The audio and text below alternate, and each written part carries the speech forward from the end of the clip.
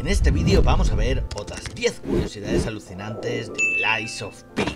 Secretos, interacciones curiosas, misterios e historias oscuras son algunas de las cosas que veremos. Si os gusta, darle a suscribiros al canal para más contenido similar. Quedaos hasta el final y veréis una historia de traición impactante. Por cierto, este vídeo contiene spoilers. El primer secreto que vamos a hablar solo podéis ver en New Game Plus, ya que en ciertos momentos del juego, en nuestra primera partida, veremos como las marionetas dicen cosas en un lenguaje que no podemos comprender, y que parece que no tiene ningún sentido. Pero luego más adelante Benini nos dará un traductor de ese lenguaje con el cual, con el cual podemos empezar a entenderlas. Lo bueno de este tema es que este objeto no desaparece al comenzar el New Game Plus, por lo que podemos entender todo lo que nos han ido diciendo las marionetas realmente.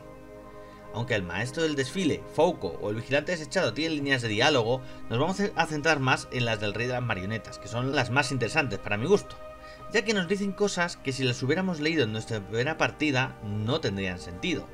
Como veis, todas las frases que voy mostrando en pantalla te demuestran que él realmente no quería pelear con nosotros, ya que es nuestro amigo Romeo, y que buscaba ayuda para detener a un mal mayor, a Simon Manus, ya sabemos.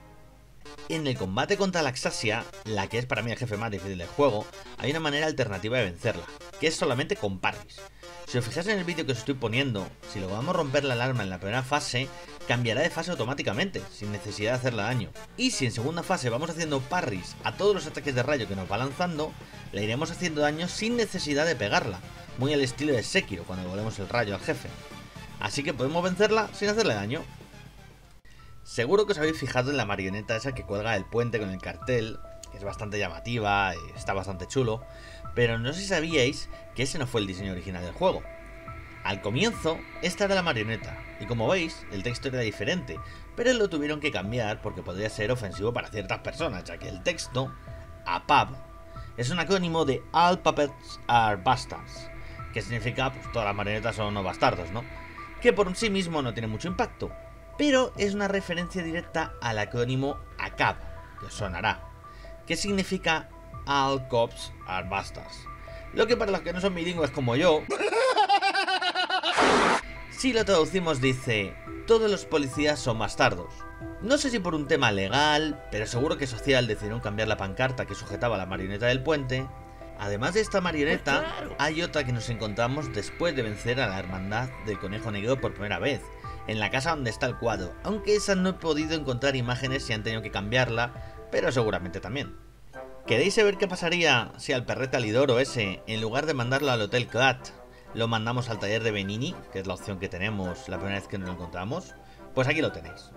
Soy una persona sin escrúpulos y dije, vamos a, vamos a ver qué pasa. La primera vez lo engañaremos, pero si vamos a verle al taller, se notará enfadado con nosotros y nos dará otra oportunidad para mandarle al sitio correcto. Como no tengo escrúpulos, le volví a engañar. Y en este caso le quise mandar a la Avenida Elysium. Pero esta vez no me creyó, se enfadó, pero igualmente apareció en el hotel y nos sigue vendiendo las armas y tal a cambio de los ergos de jefe, aunque está claramente más enfadado con nosotros que si le hubiéramos dicho la verdad. Este punto me lo dijeron en los comentarios del vídeo anterior y lo he investigado para poder traeroslo. Efectivamente, como él dijo, es cierto que en la sombra de Pi se puede ver el crecimiento de la nariz, pero estuve haciendo pruebas y solo se ve con ciertas luces, con otras no aparecían. No sé si es un tema intencional en el juego, un bajo, no lo sé, ¿vale? Entonces, si lo vemos en la luz normal, no aparece la sombra de la nariz por ninguna parte. Se ve de manera normal, si no se nota el crecimiento, ¿vale? No tiene ningún truco. Esta es la misma partida que os voy a mostrar ahora mismo. Sin embargo, si nos acercamos al Stargazer del Hotel Krat, en la sombra de la luz que proyecta sí podemos ver claramente la nariz creciendo. Una curiosidad muy interesante y muchas gracias a la persona que me lo dijo para poderlo traer a los demás. Si nos acercamos a nuestro amiguete, el gatito negro, bueno, ya sabéis, amigos, y le vamos dando las movidas que nos va pidiendo, ¿vale? Porque nos está chantajeando y hostigando hasta el final del juego, pero bueno, si le hemos dado todo, diremos que es nuestro amigo. Veremos que el arma que porta parece una lanza, pero no es una lanza, es una señal arrancada en la cual podemos leer Toyland. Ahí lo tenéis en pantalla.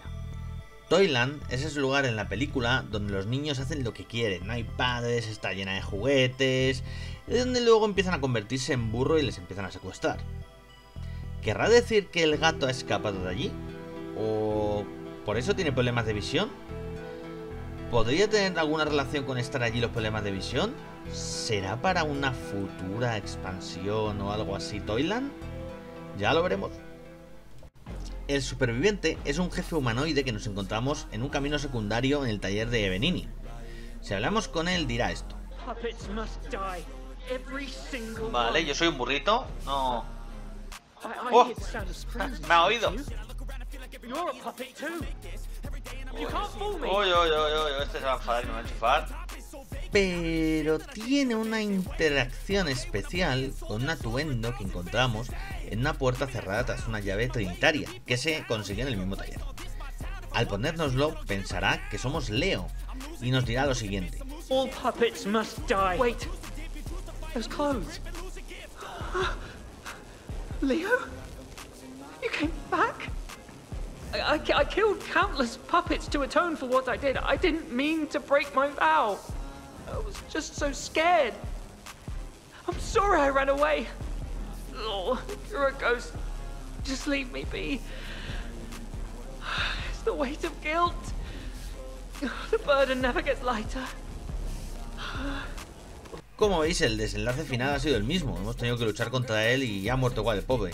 Pero este tipo de detalles me encantan en los juegos y un punto muy grande para Lies of P.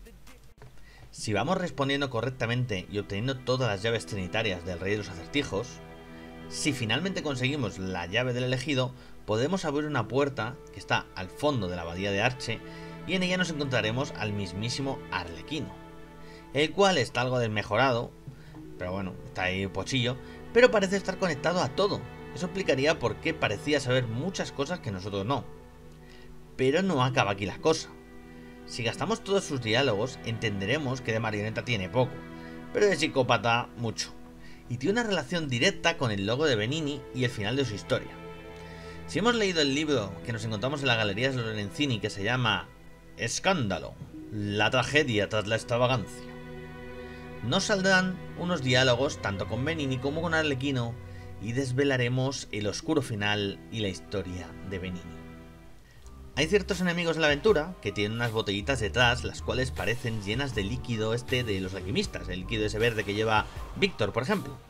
Otros las tienen pero vacías, no os fiéis, que en la abadía de Arche hay algunos que las tienen pero no, esas no cuentan.